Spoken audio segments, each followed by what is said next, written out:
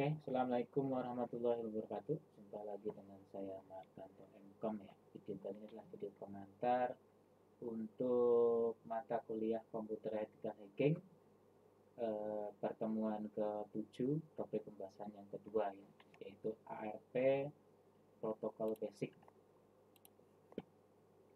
Nah, ini ya. Jadi di sini uh, eh, ARP itu apa sih? Jadi istilahnya ARP itu suatu apa namanya istilahnya? Jadi kalau kita mau mau mengirimkan sesuatu kita harus request dulu request. So ngirim request ya. Kemudian akan dibalas reply ya.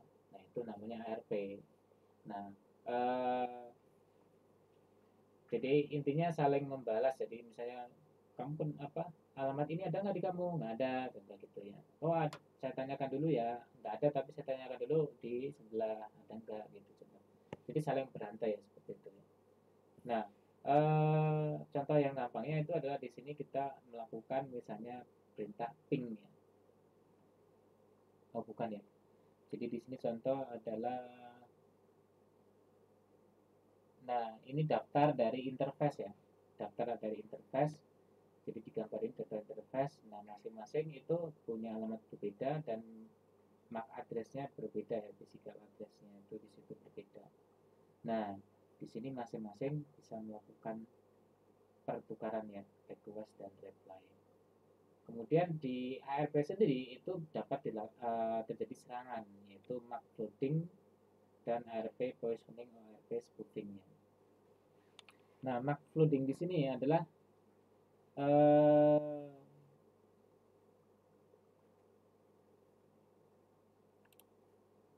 apa ya? Jadi jelasinnya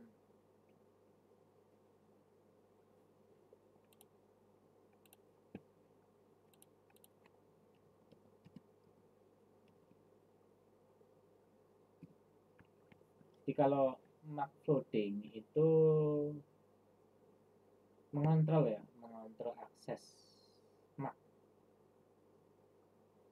jadi biasanya dia apa eh, gimana jelasinnya ya?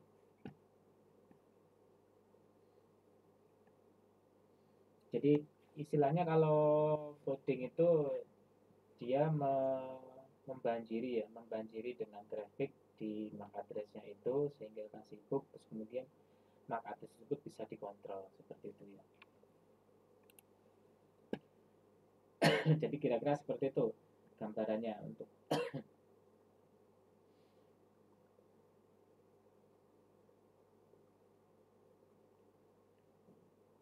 Oke, uh,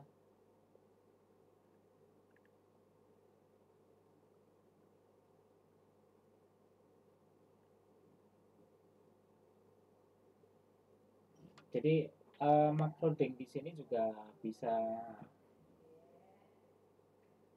uh, dia membanjiri dengan alamat MAC address yang palsu ya. Jadi kalau uh, istilahnya ada satu buah MAC address target kita ya di situ terus kita banjiri dengan request ya pakai ARP ya istilahnya request kita banjiri dengan request dari MAC address yang berbeda-beda. Jadi otomatis dia akan sibuk kan ya.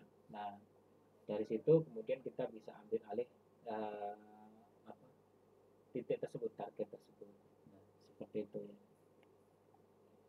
terus di sini yang selanjutnya ini contoh nih ya. Eh, kita bisa menggunakan mark off ya.